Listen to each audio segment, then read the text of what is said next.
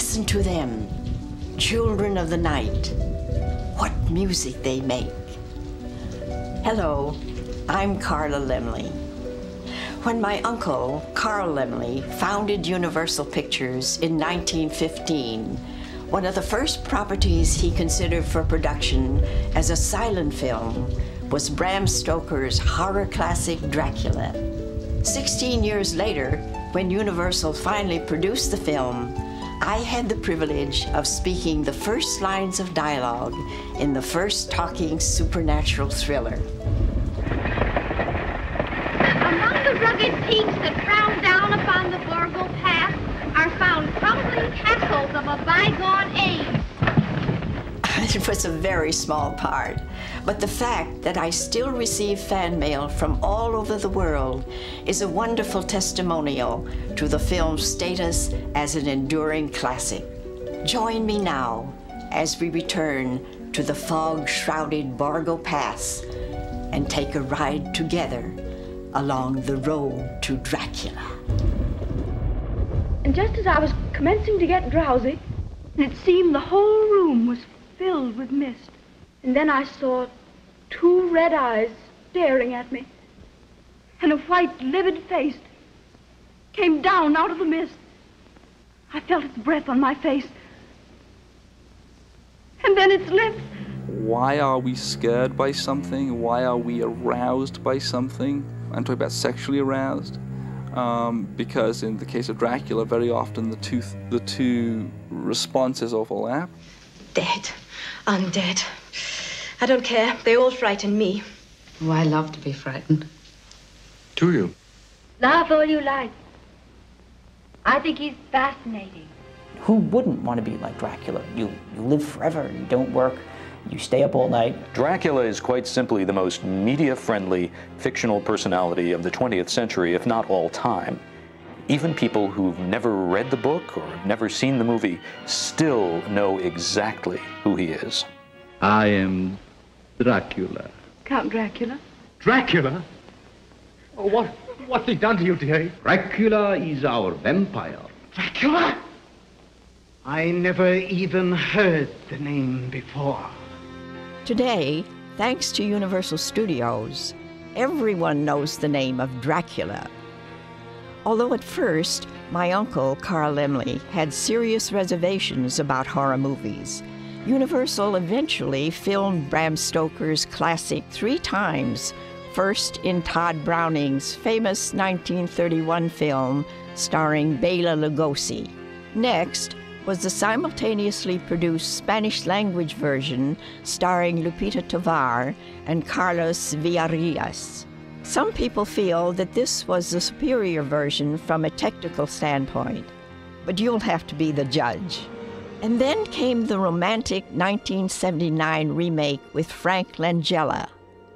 I can't imagine how my uncle, a very proper man, would have reacted to such a sexy Dracula. But speaking for myself, I would have given anything for a bit part in that production. The story of Dracula didn't begin at Universal City. As a fictional character, Dracula is more than a hundred years old. First published in 1897, Bram Stoker's original novel has been frightening readers ever since. His centennial was recently celebrated in high style at events, exhibitions, and conventions all over the world. But perhaps the most revealing exhibition took place at the Rosenbach Library in Philadelphia, where novelist Bram Stoker's original working notes for Dracula were placed on public display for the first time. What we have here at the Rosenbach are Stoker's working notes for Dracula. His earliest notes concern certain elements of plot. Uh, there are particular scenes in the novel that Stoker had imagined at its earliest stages that survive all the way to the end. Uh, a scene where Jonathan Harker, trapped in Dracula's castle, is preyed upon by three female vampires who are then interrupted by Count Dracula barging into the room saying, This man is mine, I want him. This was one of Stoker's earliest ideas for Dracula. Bram Stoker never visited Transylvania, but he was very well acquainted with the picturesque town of Whitby on the North Yorkshire coast, where a good deal of his novel takes place. Stoker often vacationed there and was most impressed with its ancient wind-blown cemetery and crumbling Gothic abbey. Whitby is certainly a wonderful place for atmosphere. It uh, would lend itself to a cinematic treatment if we could imagine Stoker thinking of that. Whitby as a, as a popular port uh, and as a popular sort of shipping port um, had its number of shipwrecks. And uh, Stoker must have been fascinated with the idea of having a shipwreck in Dracula. So he used the shipwreck of a Russian schooner called Dmitri as a model for um, Dracula's arrival onto the English coast. It was in Whitby that Stoker first came across the name of Dracula. He discovered that there was this 15th century Transylvanian prince whose name was Dracula, also known as Vlad the Impaler due to a, a, method of disposing of his enemies of which he was particularly fond. If you can see behind me, this is from a, uh, again, late 15th century woodcut of showing Vlad at lunch with some of his victims behind him. Stoker was the first to take the legend of Vlad the Impaler, or Vlad Dracula, and attach it to the vampire. And they haven't really come apart since. The historical Dracula didn't inspire Stoker to write the book. There's some confusion about this. He'd already outlined the novel when he came across the account of Vlad the Impaler and simply used it as a kind of window dressing or atmosphere. Stoker's novel unfolds through letters, diaries, and journals. Count Dracula, a 500 year old vampire, leaves his castle in Transylvania in search of new blood in a new country. Carrying the boxes of native soil in which he must rest during the hours of daylight, Dracula kills the entire crew of the ship that transports him to England. Two young women, Lucy and Mina, become his victims in turn.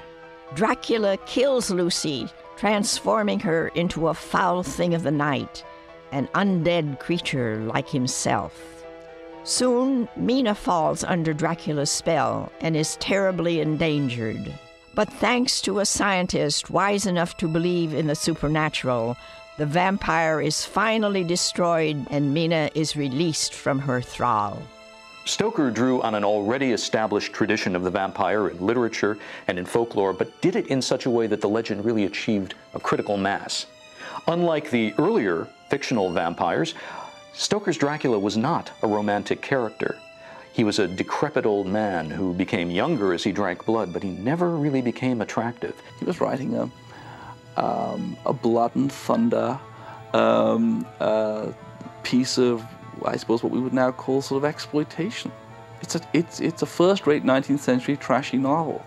Above everything, Bram Stoker wanted his story dramatized. He may have been a bit of a frustrated playwright.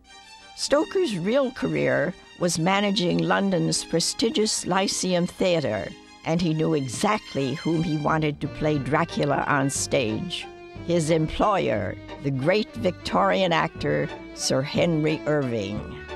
Well, Henry Irving has a lot to do with the character of Dracula. Um, in the first place, a lot of the characters Henry Irving was most famous for playing could be considered to be Dracula-like characters. Um, roles like Mephistopheles in Faust or Shylock in The Merchant of Venice. These were Henry Irving's greatest roles, or the ones for which he was most popular. Psychologically complex villains. Irving would have been perfect for the part. After all, he already was a boss from hell. Irving really was a vampire, and he really was a kind of horrible person who fed on the energy of others. They did an interminably long reading of the novel at the Lyceum for purposes of copyright, and Irving was reputed to have walked through the theater and intoned dreadful and walked out. Um, and that was stupid of him. It would, it would have been a very good part, and he should have done it. And now Dracula's more famous than he is. Bram Stoker died in 1912 and never saw his story properly dramatized. But nine years later, the character of Dracula made his first screen appearance in a now lost Hungarian film called Dracula's Death the plot owed almost nothing to Stoker or his book, but I guess Dracula's movie career had to start somewhere. In the story, Dracula plays a music teacher who uh, has gone crazy and then is after some of the patients in the, in the asylum. So the story plays more like uh, a Phantom of the Opera than, than Dracula. But however, there is this um, idea of, of a monster loose with uh, fangs and a cape. The following year, German filmmakers got on the Dracula bandwagon with Nosferatu, a symphony of horror. It remains one of the most frightening movies ever made, a classic example of German expressionism. It's so frightening. Well, for one thing, Dracula is so evil, he's disgusting, and he's a plague spreader. Um, and he looks like a rat. There's nothing suave about him. The Dracula character was called Count Orlok and was played by a German stage actor named Max Schreck, whose name, by a happy coincidence, uh, means terror or fright in German. And it was his real name. It wasn't just a publicity stunt for the film. And he remains to this day the single screen Dracula who really embodies the essential repulsiveness that Stoker intended. In the early part of the century, the laws of copyright were, were not well um, understood, especially with filmmaking.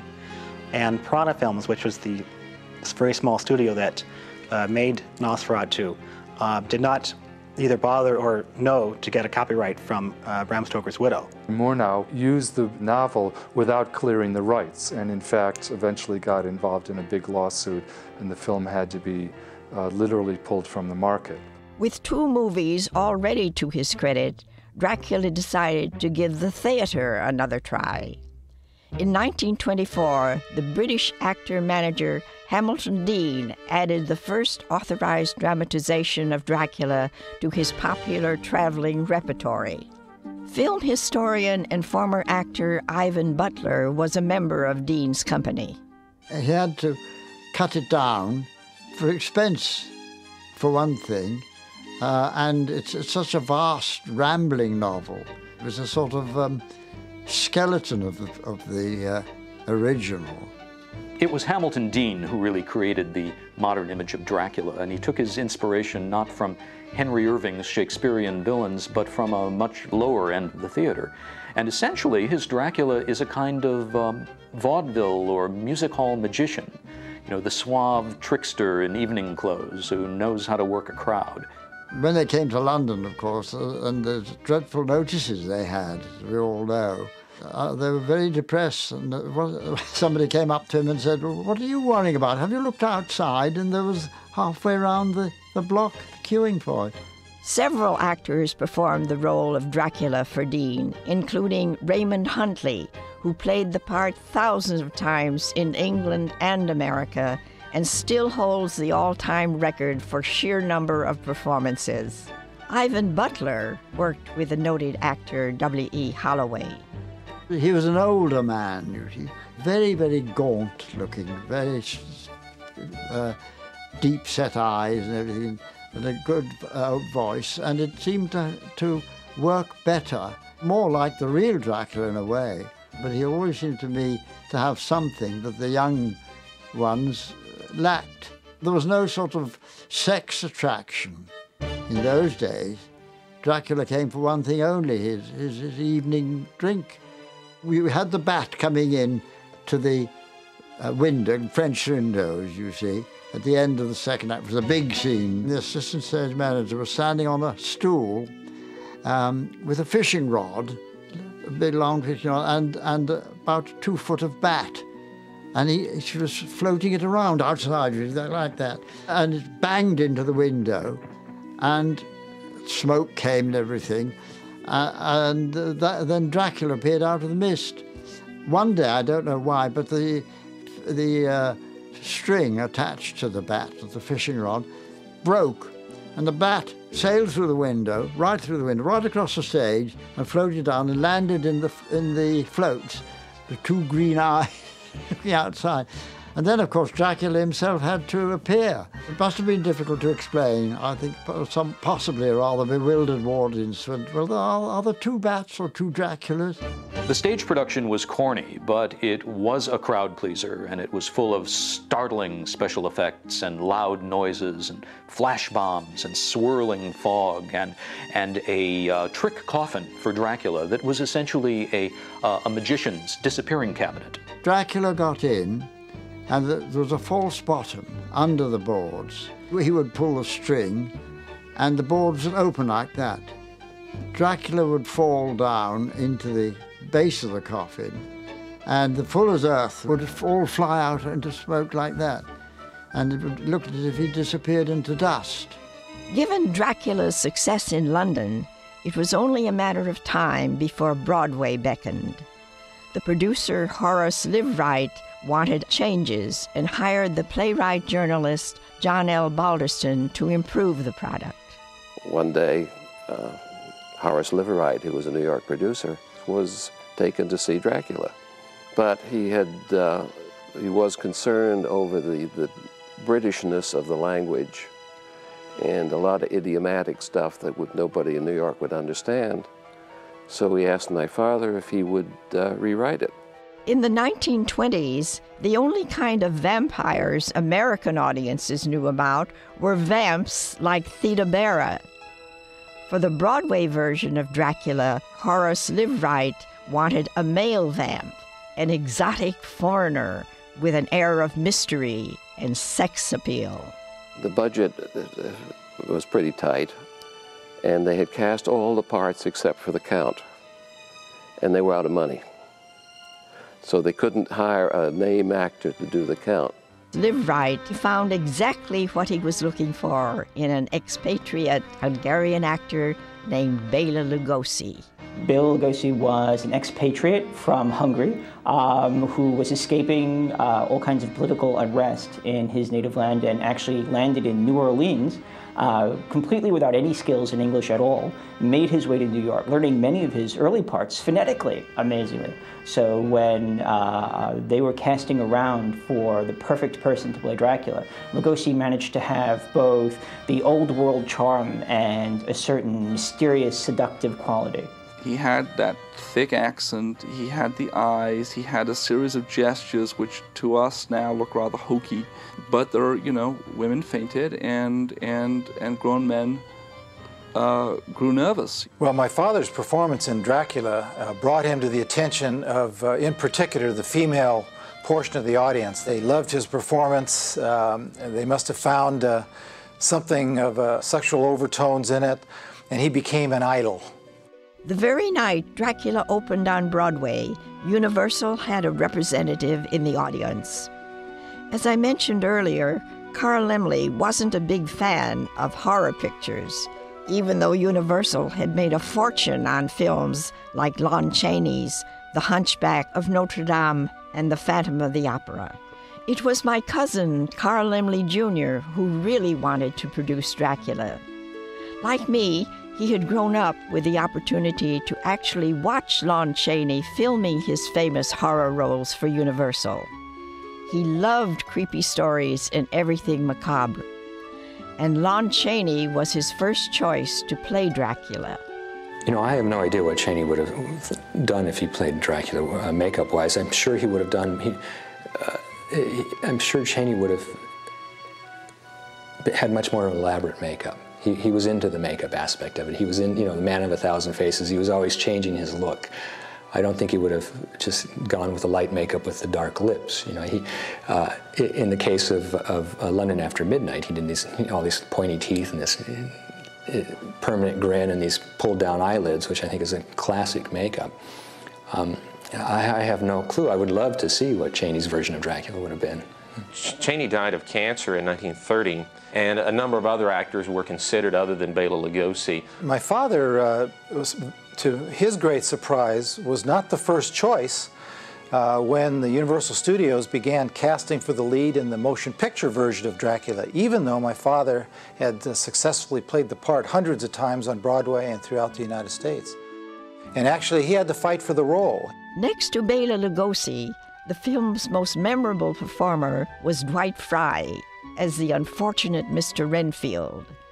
He was such a gentleman when I fell into his lap in the opening scene. You'd never dream he'd end up eating spiders and developing an appetite for even worse. Rats. Rats. Thousands. Millions of them.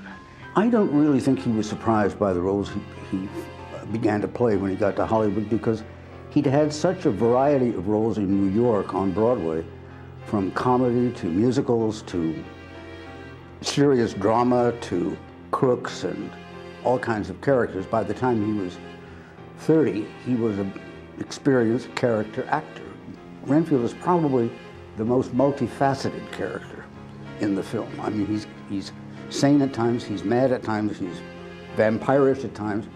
Also on hand from the Broadway production was Edward Van Sloan, repeating the role of Professor Van Helsing. Here's part of his screen test. I was looking in the mirror. Its reflection covers the whole room.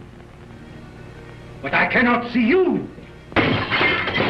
Dracula was directed by Tod Browning, the famous mystery man of silent movies who had directed many of Lon Chaney's most successful films.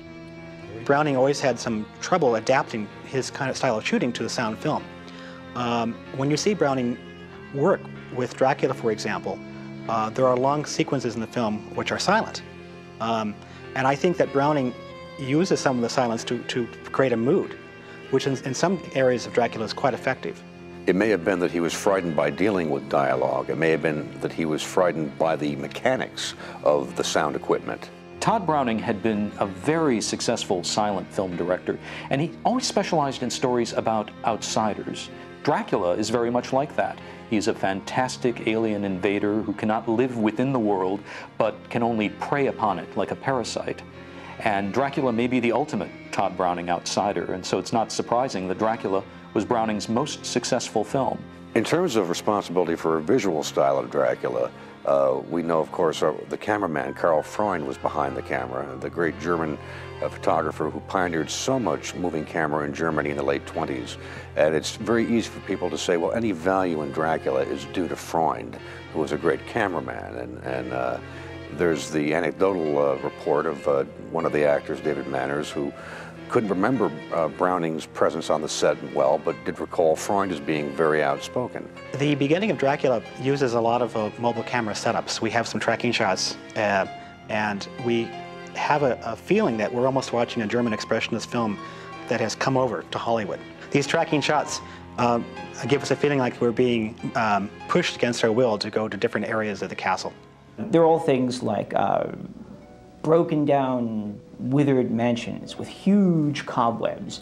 And for some reason, no one's ever quite understood armadillos running around and bats floating overhead. In fact, Browning uh, and the Universal Dracula are, you know, sort of responsible for almost all the iconography that we associate with horror films. Uh, long capes, sweeping staircases, mold and decay, lots of cobwebs, spiders and bats. I mean, everything that now has become this sort of Saturday morning thing that kids associate with horror films all comes from, from Dracula. Originally, Dracula had been planned as a lavish, big budget production that would have been based primarily on Stoker's novel. But in the wake of the stock market crash and the onset of the Great Depression, uh, the studio really had to cut back and they ended up basing the film largely on the stage play uh, for simple reasons of economy. Today it may seem difficult to imagine audiences really being frightened by a film like Dracula, but they really were. It was the first time Hollywood had presented this kind of a supernatural story that didn't have a logical explanation tacked on at the end. And audiences were really creeped out by this atmosphere of weird decadence. They'd never seen anything like it. Among other things, there were a lot of theaters in, in different parts of the world that were still not equipped with uh, sound equipment for the audiences to hear the movie. And as a result, uh, sound films like Dracula were released in silent versions so that, so that those audiences, those theaters that weren't equipped with sound equipment, could actually see the film. That was another way of getting over language barriers in the early talking era.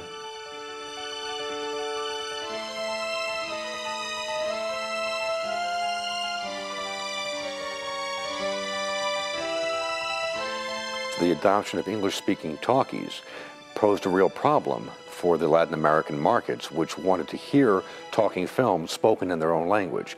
Dubbing was still not an efficient and known commodity, and those studios that had the biggest interest in that market turned to doing secondary productions of their major films in Spanish versions for that market.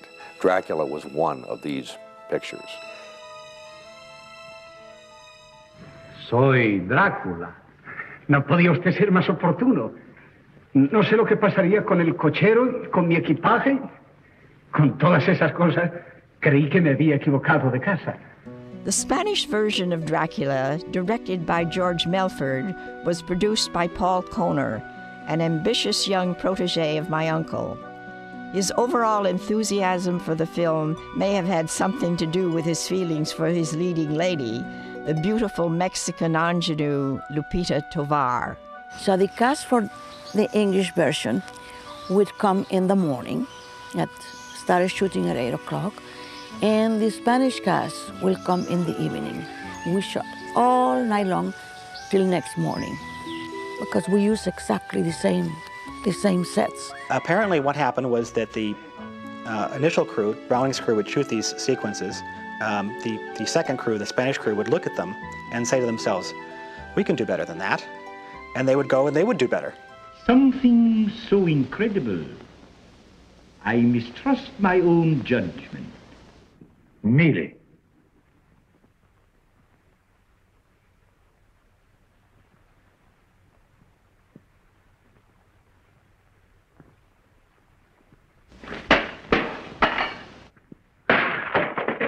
Well, I don't think anybody's going to give any acting awards to Carlos Villarías. But overall, the Spanish film is a real delight for film buffs because it's kind of like discovering all these fascinating new rooms in a familiar old house. And it's full of these wonderful optical effects and visuals that really seem ahead of their time. What we do see in the Spanish version is, among other things, a, a, much more artistic, a much more innovative use of camera movement in those early talkies, and that's not what we get in the Lugosi version at all. The, the camera movements are far more fluid, there's far more of them. It's, it's a more lively film to watch unfold before your eyes than the Lugosi film. One only wishes that Lugosi had been directed uh, in, a, in like fashion as the Spanish version. Dracula did sensational box office the result in part of Universal's atmospheric and imaginative promotion. One of the most inventive designs of posters was Lugosi, arms upraised, clawing at the air behind a spider web in which various heads of his female victims uh, were ensnared in the strands of the web like some sort of bizarre insects. So you had a, a, whole bunch of different poster designs that sought to emphasize both the mystery and the sexual, underlying sexual content of this film. It was a very unique film in that sense. Children are, another category that, that found strong interest in Dracula. There, there, was even a group of sociologists that studied movie responses to the various films of the early 30s, and often children would mention among their favorite movies ones they liked to act out at home was Dracula.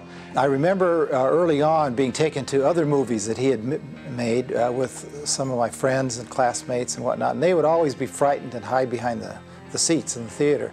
And I would never be frightened because that was my father. That's who I'd see. But uh, uh I remember when I was very young, I would, uh, I would try to imitate my father as Dracula, and I have some home movies that, that show that. So he showed me uh, how he did it. Certainly more than any other performer. Bela Lugosi showed the world for all time how a vampire was supposed to look, how a vampire was supposed to act, and how a vampire was supposed to talk. I have chartered a ship to take us to England. We will be leaving tomorrow evening. I don't think Lugosi's face was as fascinating as Karloff's. In fact, I think Karloff probably would have made a good Dracula as well. But, but you know, that whole Hungarian accent and, and, and, and the way that he spoke and, and, and the weird rhythm of his speech and everything, I think is what people remember about Dracula. He felt very strongly that he, in Dracula, he had created a character that was quite different and far more powerful than the way he's described in Bram Stoker's novel and thereafter he would always be regarded as the Dracula, and Dracula and Bela Lugosi would become synonymous. Lugosi had a magic all his own. He was the kind of uh, man who, when he walked into a room, even if it was a crowded room and nobody knew who he was, everybody would look and stare and turn around and say, well, who is that? He had that kind of a personality. And especially in the horror film, where, where characters can be so larger than life. Lugosi probably uh, seems to be about the darkest personality, the larger than life personality beyond any others I know of in the horror film, possibly in the cinema at large. Many fine actors have played Dracula in recent years, and almost all of them play against the Lugosi characterization. But uh, paradoxically, and I guess inevitably, they end up only bringing Lugosi to mind because somehow we can't help but make that comparison in our minds. Because of the success of the motion picture Dracula, he became so associated with that part that a lot of people regard him as Dracula, even though Dracula is a fictional person. And it changed his life.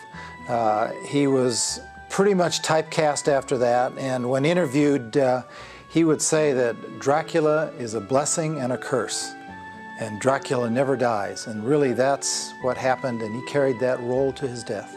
And I think going back and seeing these films is like a mini time capsule. It's also that way with collectors. We grew up loving these films. We weren't there on the set in 1931, but we want to be there so very much that we watch these films over and over. We wish to own a prop from them or perhaps own a poster from them. If there is a holy grail of Dracula collectibles, the Transylvanian Shroud of Turin, it would have to be Bela Lugosi's original Dracula cape.